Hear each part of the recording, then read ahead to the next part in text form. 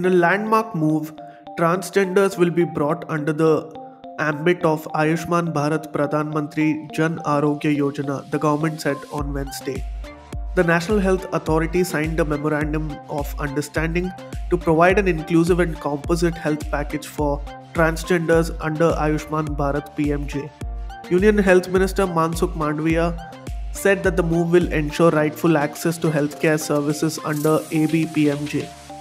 This MOU signed between NHA and Ministry of Social Justice and Employment will extend all healthcare benefits to transgender persons across the country. MOSJE will fund 5 lakh rupees worth insurance cover per transgender beneficiary per annum, Mandaviya said. As a part of the move, a comprehensive master package is being prepared for transgenders, including existing AB PM-JAY packages and specific packages such as sex reassignment surgery and treatment. As a result, transgenders will be eligible to seek treatment in any ABPMJAY empaneled hospitals across the country where specific packages will be made available.